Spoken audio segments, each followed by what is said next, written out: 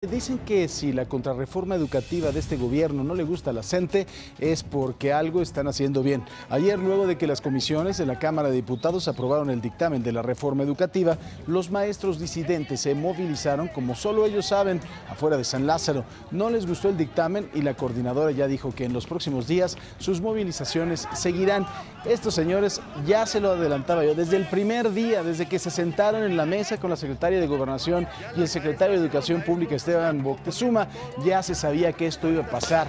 Hay que entenderlo y de forma muy clara. Estos señores no quieren una reforma educativa. Estos señores lo único que quieren es conservar sus privilegios, lo único que quieren es conservar, por supuesto, el poder político que tienen, que en el momento en que se apruebe una reforma educativa con la que ellos estén de acuerdo, en ese momento les quita usted todo el poder.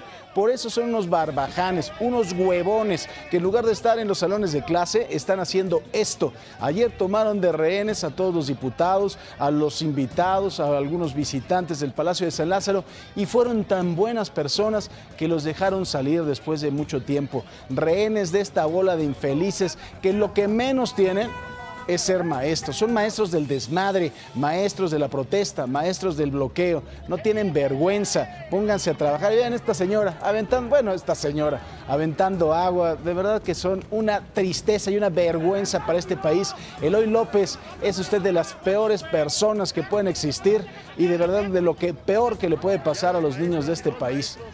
Bola de barbajanes. Ahí se van a morir de hambre. Así como nos están dejando morir a nosotros, al magisterio oaxaqueño, también ellos que se mueran de hambre, por arrastrados, por perros, por vender a la patria y por traidores. Trabajadores también. Déjenos salir ya. Sus guaraches, cabrón, sus botas de trabajador. Aquí está mi sombrero de trabajador. ¡La van a lastimar! La única no es dos. De Chiapas a Sonora. Con la coordinadora. Pues bien, así el apunte Quique Villanueva, que así como nos estamos muriendo de hambre con el iPhone, ¿no? Y debe la línea celular ha de haber sido, ¿cómo la tendrá? Debe ser gratis, ¿no? Seguramente. No tienen vergüenza, eso es lo que no tienen.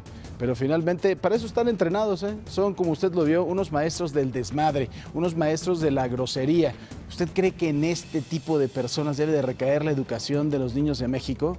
Oiga, mejor que los eduquen en su casa, porque si esta va a ser la educación que tienen, después van a seguir en las calles ellos también.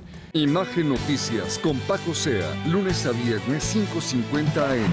Participa en Imagen Televisión.